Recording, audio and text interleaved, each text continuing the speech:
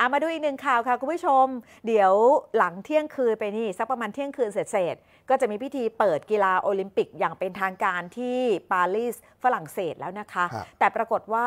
ยังไม่ทันมีพิธีเปิด ก็กลับมีเหตุการณ์ป่วนขึ้นที่ปารีสแล้ว ซึ่งทางการฝรั่งเศสบอกเลยว่าเหมือนกับจงใจเลยค่ะ ที่ต้องการจะให้เกิดขึ้นก่อนพิธี แล้ว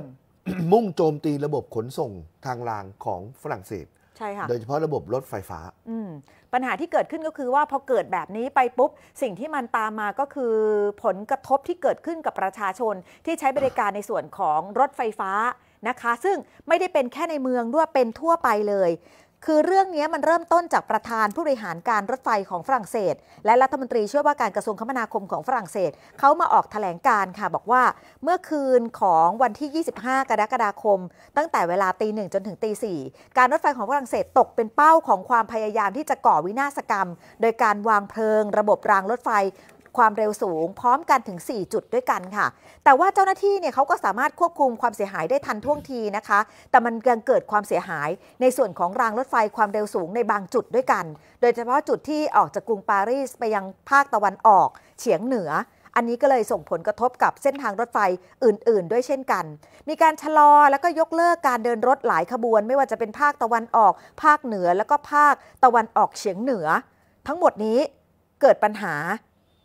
คนได้รับผลกระทบ8แสนกว่าคน แล้วเขาบอกว่าเดี๋ยวอาจจะต้องใช้เวลาในการซ่อมแซมความเสียหาย เร็วที่สุดก็ภายในอาทิตย์ที่ 28 กรกฎาคม 2567 นี้ค่ะ ขณะที่สถานเอกอัครราชทูตนะครับของไทยประจำกรุงปารีสเนี่ยก็ขอย้ำเตือนให้พี่น้องชาวไทยเนี่ยทั้งที่มีถิ่นพำนักในฝรั่งเศสและนักท่องเที่ยวไทย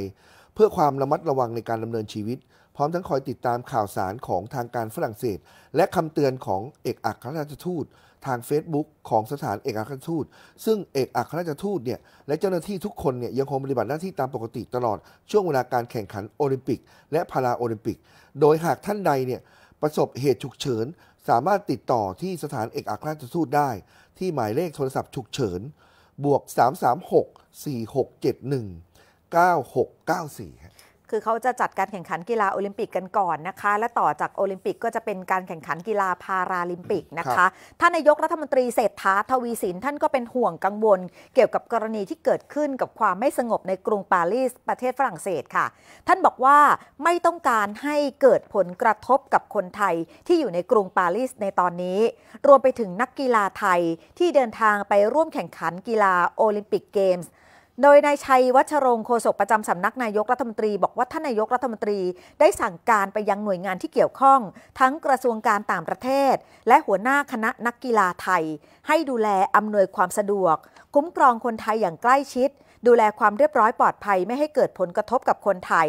โดยคนไทยที่อยู่ในกรุงปารีสนะคะ ขอให้ติดตามข่าวสารอย่างใกล้ชิดและก็ในขณะเดียวกันก็ต้องดูประกาศจากทางการของฝรั่งเศสด้วย ว่ากรณีเหตุฉุกเฉินนั้นจะทำยังไง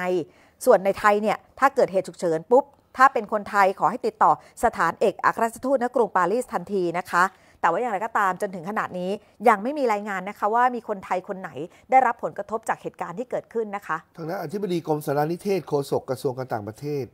นายนิกรเดชพรางกูลก็บอกว่า กระทรวงการต่างประเทศเนี่ยได้มีการติดต่อพูดคุยกับทางสถานเอกอัครราชทูตณกรุงปารีสอย่างใกล้ชิด เหตุการณ์ล่าสุดเนี่ยมีการวางเพลิงสัญญาณของรถไฟที่เกิดขึ้นทั่วประเทศทำให้มั่นใจว่าเหตุการณ์ที่เกิดขึ้นมีการวางแผน และมีความเกี่ยวเนื่องกัน เพื่อสร้างสถานการณ์ว่า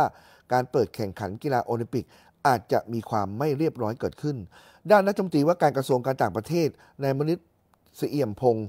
ได้กำชับให้เอกอัทูตณกรุงปารีสคอยควบคุมดูแลนะครับคนไทยอย่างใกล้ชิด นะโฆษกกระทรวงต่างประเทศก็ย้ำด้วยนะว่าจากการที่หารือกับทางเอกอัครราชทูตประจำฝรั่งเศสเนี่ยล่าสุด ก็คนไทยไม่ได้มีความตื่นตระหนก แต่ต้องมีความระมัดระวังมากขึ้นครับใช่ค่ะ และในชั้นนี้ยืนยันนะคะว่ายังไม่ต้องมีอะไรที่วิตกกังวล แค่เพิ่มความระมัดระวัง แล้วก็ดูเว็บไซต์ของสถานทูตเป็นหลักได้นะคะสำหรับพิธีเปิดการแข่งขันกีฬาโอลิมปิก 2024 ที่จัดขึ้นที่กรุงปารีสประเทศฝรั่งเศสนะคะ เดี๋ยวจะจัดอย่างยิ่งใหญ่ ตามเวลาในประเทศไทยก็คือช่วงเวลาเที่ยงคืนครึ่งของวันนี้ เดี๋ยวจะมีพิธีเปิดอย่างเป็นทางการ แต่ถ้าตามเวลาในฝรั่งเศสก็คือ1ทุ่มครึ่งนะคะ ซึ่งกีฬาโอลิมปิกปารีสเกม 2024 นี้จะเป็นครั้งแรกในประวัติศาสตร์เลยค่ะ ที่พิธีเปิดนั้นถูกจัดขึ้นนอกสนามกีฬา จะมีภาพการล่องเรือในแม่น้ำแซนให้ได้เห็นกัน และจะมีนักกีฬาเข้าร่วมในการแข่งขันครั้งนี้ประมาณ 1,500 คนจาก 206 ชาติค่ะ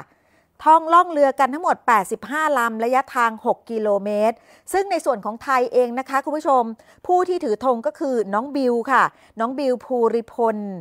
บุญสอนซึ่งเป็นนักกีฬาวิ่ง 100 เมตรชายที่ไปโอลิมปิกคนแรกเลยค่ะ กับน้องเอสทีวริรยาสุกเกษม นักกีฬาสเก็ตบอร์ด วัยเพียงแค่ 12 ปีเท่านั้น แล้วก็ถือว่าเป็นนักกีฬาอายุน้อยที่สุดของไทย เท่าที่ไทยเคยส่งนักกีฬาเข้าแข่งขันกีฬาโอลิมปิกเลยค่ะ การเดินขบวนครั้งเนี้ยนักกีฬาแล้วก็คณะที่ไปทำงานเนี่ยก็รู้สึกตื่นเต้นนะ เพราะในประวัติศาสตร์ของโอลิมปิกเกมเนี่ยค่ะไม่เคย จัดพิธีเปิดนอกสนาม แต่นี่คือทางเรือ เดี๋ยวรอลุ้นกันนะคะ ว่าวันนี้ใครจะเป็นผู้จุดคบเพลิงคนแรกเขาบอกตอนนี้ยังไม่เปิดเผยชื่อกันเลยครับนะคะ